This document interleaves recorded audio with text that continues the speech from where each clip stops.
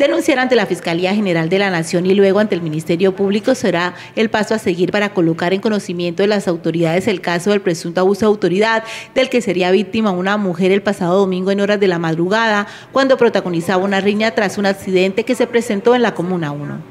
principalmente a la Procuraduría para que inicie las investigaciones disciplinarias del caso frente a la labor y el despliegue de las actividades de estos funcionarios públicos de policía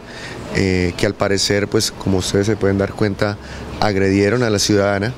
Eh, en estos momentos pues es una situación muy grave. Según lo dicho por la Corporación Regional para la Defensa de los Derechos Humanos, si bien el comportamiento de la mujer no fue el mejor, la policía debe saber actuar ante esta clase de hechos. Una situación que eh, tiene que llamar la atención de la población barranqueña en general, porque la policía no puede estar cometiendo este tipo de abusos de autoridad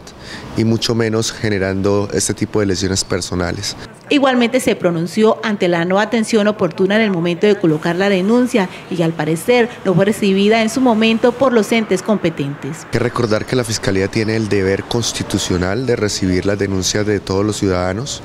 que si hay una dificultad para establecer cuáles fueron los funcionarios que trasladaron a la señora, la Fiscalía es la que tiene las herramientas, la que tiene el cuerpo de investigadores para poder establecer eh, quiénes fueron los encargados de, ese traslado de policía, además porque hay una responsabilidad de mando también, ¿no? ¿Dónde estaba el comandante